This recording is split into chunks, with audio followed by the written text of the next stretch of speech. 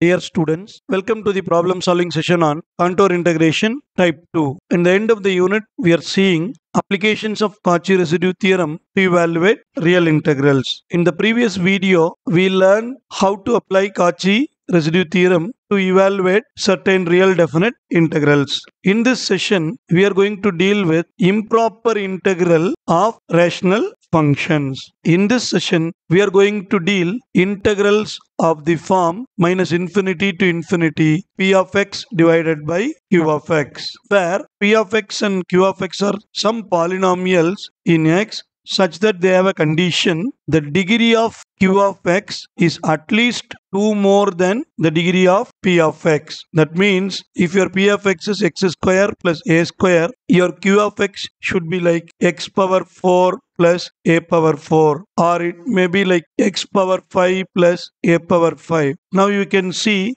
the degree of the denominator that is q of x is 4 and degree of numerator is 2. So degree of q of x is at least 2 more than the degree of p of x. Here also we can see degree of the denominator is 5 and degree of the numerator is 2. So this is at least 2 more than the numerator that is p of x. Hope you understand. And the second condition q of x should not have real roots. That means q of x should not be 0 when you substitute any real value of x. Suppose your q of x that is the denominator is x square minus a square. If I substitute x equal to a then it will become 0. So it is not eligible. So your q of x should not vanish when I put any value of x that belongs to real number. So your denominator might be like x square plus a square, x power 4 plus a power 4 etc. So we have two conditions integral of the form minus infinity to infinity p of x divided by q of x dx. The degree of q of x is at least 2 more than the degree of p of x and q of x has no real roots. Then I can solve this problem using Cauchy residue theorem. Now to evaluate the integral, I am just converting the problem as integral over c p of z divided by q of z dz. That means just convert this into complex plane. Write p of x as p of z and q of x as q of z into dz. Then there comes a question what is this c? C is the simple closed contour consisting of two contents. The first one is the real axis minus R to R and the second one is upper semicircle. So real axis minus R to R and upper semicircle in the anti-clockwise direction. This is very important. The direction is anti-clockwise. Now you can imagine the upper semicircle. That means when you take the upper part of the semicircle, always you can see for example, suppose you have poles like this. Z is equal to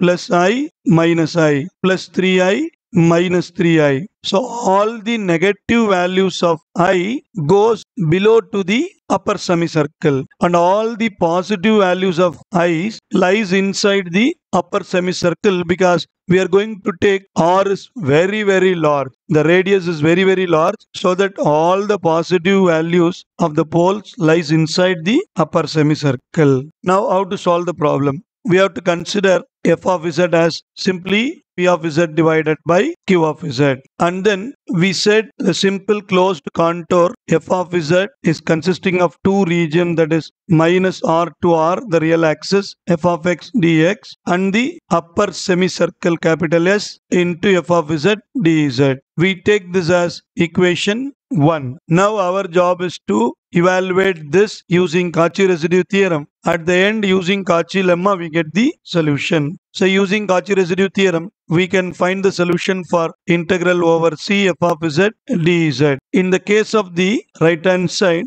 we are going to deal with Cauchy's lemma. Now to tackle the RHS we are going to use Cauchy's lemma. What Cauchy lemma says when r tends to infinity because we need to find the solution for integral minus infinity to infinity f of x dx. When r tends to infinity integral over s f of z dz tends to 0. Therefore substituting this in 1 we get simply integral over minus infinity to infinity. F of x dx is equal to integral over c. F of z dz. That we already solved using Cauchy residue theorem. Hope you understand the procedure for improper integrals of the form p of x divided by q of x provided the degree of q of x is 2 more than the degree of p of x and q of x will never become 0 for any real value. Next, let us see an example problem. Evaluate integral over minus infinity to infinity x square divided by x square plus a square into x square plus b square dx.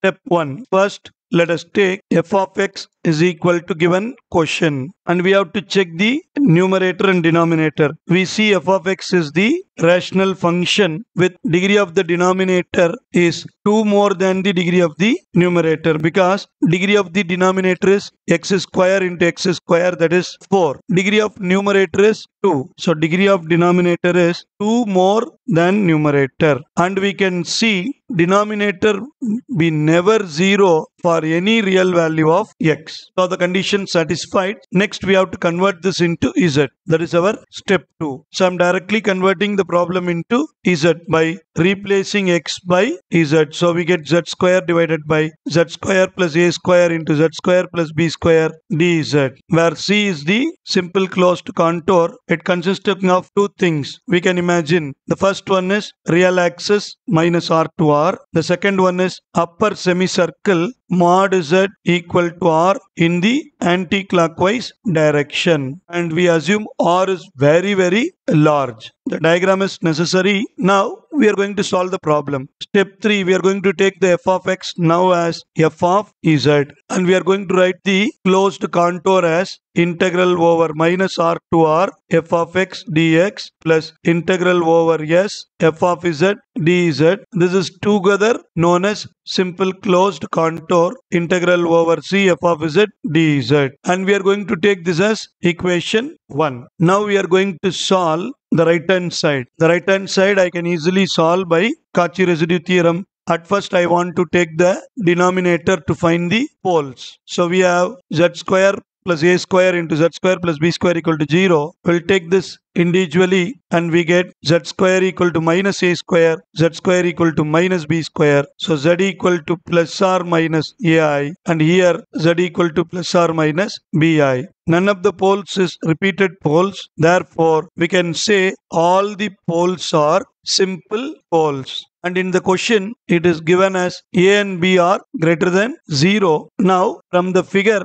it is very easy to say Z equal to AI and BI or lies somewhere inside the circle because R is very large. Suppose your Z is 100i. I can take R as 1000 or 10,000 or very big. So all the positive values of Z lies inside the upper semicircle and all the negative values of Z like minus A, minus B that lies outside the region. Therefore, we have to find residues at the point Z equal to AI and Z equal to BI. First, let us find the residue for the simple pole Z equal to AI. We know that R of A is equal to limit Z tends to A, Z minus A into f of Z. And f of Z, I can write the denominator according to my convenience. This is my f of z. When I solve for a, I will rewrite this as z plus ai, z minus ai. When I solve for the residue bi,